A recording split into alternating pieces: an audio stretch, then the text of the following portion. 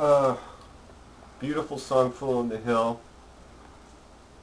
You want to look Who wrote? Yeah, who wrote that? Oh, that's Paul That's McCartney. McCartney. Yeah. All right, let's. Uh, you know, I should mention Magical Mystery Tour as a concept album. Um, with the su- success of Peppers, we have McCartney on this huge high. Like he's he's inspired. He's coming up with ideas, and then you have Lennon and, and Harrison, who are splitting from the unity of the Beatles. Lennon with his interest in Yoko, and Harrison with his interest in Indian philosophy and Social justice and all that sort of yeah, thing. yeah, and spirituality especially. Yeah. Like his, his whole spiritual trip that he was proselytizing. So blatantly, by the way. I went to a George Harrison concert and everybody was clapping along to My Sweet Lord and they were doing the Hare Krishna stuff. Uh-huh. And he says, "Oh, okay, everybody, I want you to say the name of your Lord. Let's say Jesus Christ. And it just made everybody uncomfortable, like to start singing Jesus Yeah. Christ. All of uh, a sudden, you felt like you were at a Scientology meeting. Yeah, it was a little. It was, but it was a great show. Uh, Tom Scott's band was there, Oh, and man. uh, Ravi Shankar's band was there, and they had a huge jam at the end. Oh man. McCartney's. There was a rumor that he was hanging out in the front somewhere, but uh, and we were looking for him, but we didn't see him. Man. So, it's uh, "Fool on the Hill." You know, my really my first sort of listening contact with this was the Sergio Mendes and Brazil '66 version. Totally different feel. Yeah. All right, so usually an ending chord for a Beatles song. Now he's using it a- as a body of the song chord. This is a D6. There's a D chord right here, and I'm opening it up so the B string rings. Okay. And if I were to count up a D scale, one, two, three, four, five, six.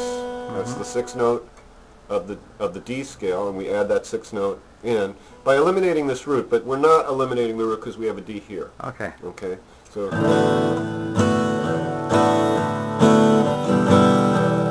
very soft chords. What is that card? All right, so this is a D6. It's a D softened by the six. This is an E minor seven, which is also softened by that minor seven.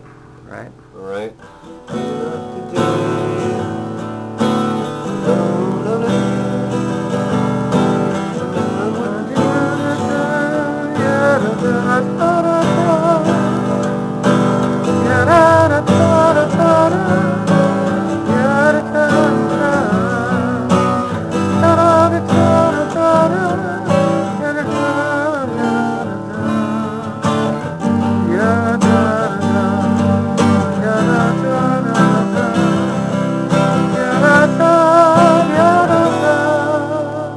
Uh, yeah. Uh, I, I, uh,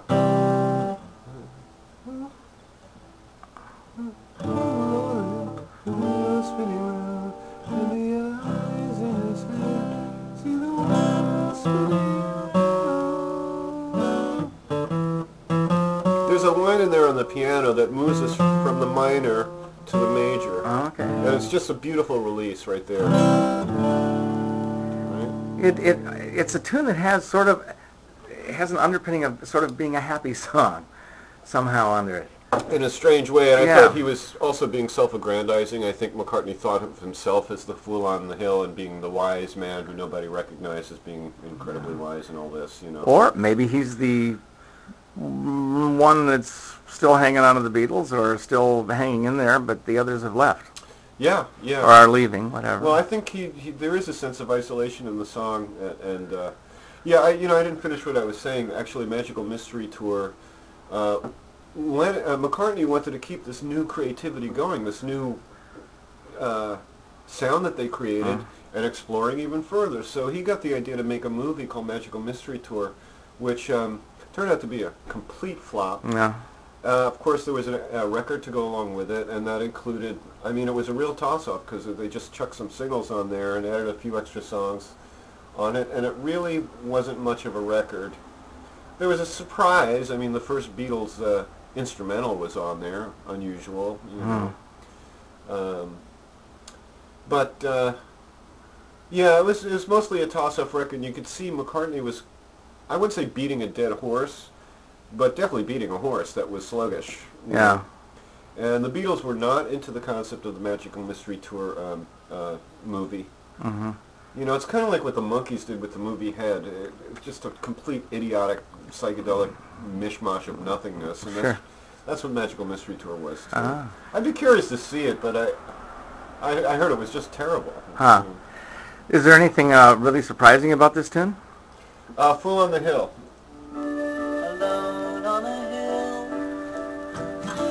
Man with a foolish grin is keeping perfectly still. But nobody wants to know him.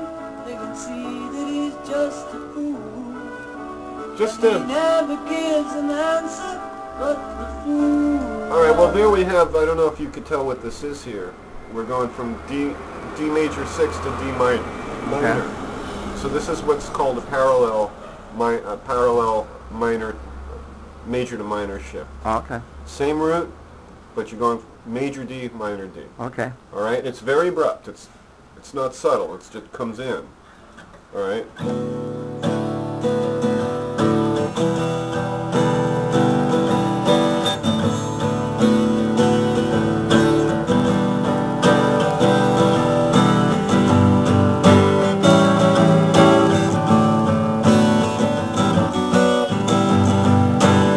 We go. We're using chords from the key of D minor now. All of a sudden we have a G minor chord. And then we're moving to F. In other words, this could easily... Right? But he doesn't do that.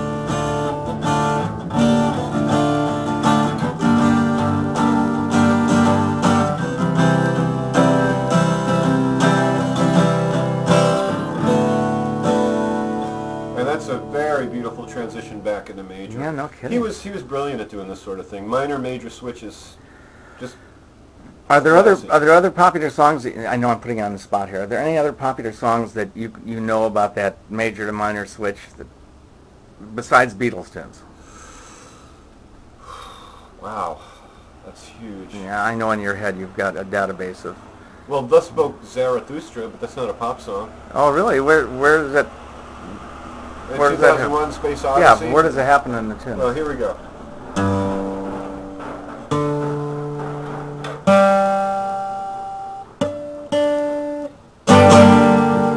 oh, okay, all right. And then it goes back. Right? The big obvious. Yeah, there we go. Yeah.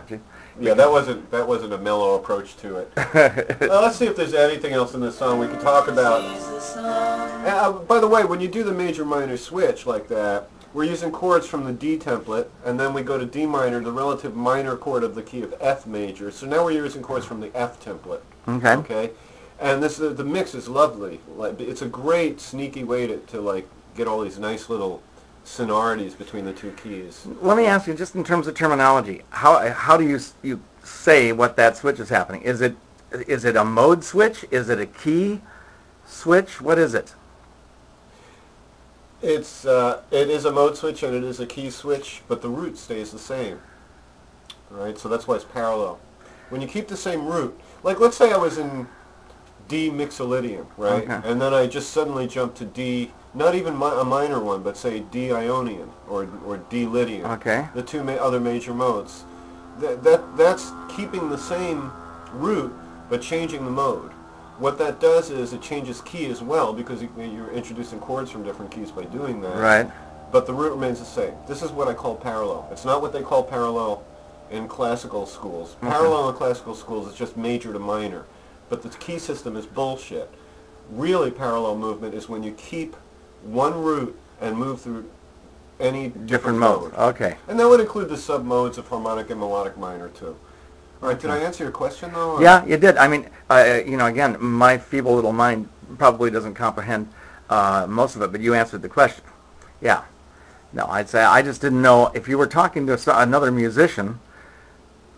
How would you say this is what happens here? Well, m- most musicians are more familiar with the idea of relative minor than they are parallel minor. So Oh, if I okay. said, "Oh, we, we're going parallel minor," you know, that They some guys might it wouldn't- might take a little bit of thinking on it. Yeah, Yeah. But you know, I mean, it's not that formal. You call out to a musician, D minor, and they go. you know. there you go. Okay. So that's why what I love about my jam band is because we're all co- recorded directed to the computer, and nothing. Hmm. If we could scream as much as we want, nobody will hear. The computer won't record. Oh, okay. So like while we're jamming, I'll say, "Go to the verse." it sounds really natural, you know. It's like directing porn. Which is something I have extensive experience. I'm sure he spends a lot of time in the valley. All right. Well, listen. I think we're up for the day. Yeah. here. Okay. I, I, Uh, that- the Fool on the Hill. The other, other comment I want to make is the orchestration of it. Although it's very sparse, Mm-hmm. it's very beautiful. He uses a bass harmonica. He uses accordion. He uses recorder and flute, and it's all very uh, earthy. It it always to me has had a combination of sort of Brazilians in Paris at an outdoor cafe. yeah, yeah, yeah, yeah. You sure, know? Sure, sure. know.